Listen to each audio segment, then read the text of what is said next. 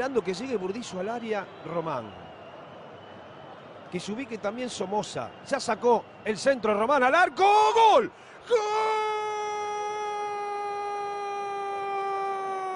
¡Gol!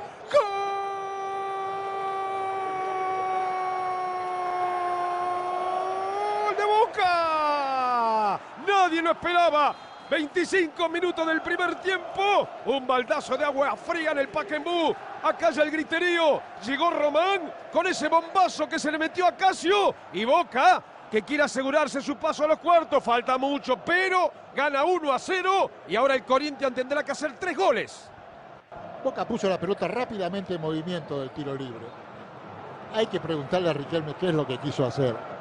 Porque en principio cuando desde ese lugar le pega así con la derecha y la pelota pica y se levanta un poquito, uno pensaba, viene el centro. La pelota se metió y se le metió por el segundo ángulo al arquero Casio. El chiste fácil sería que a Casio le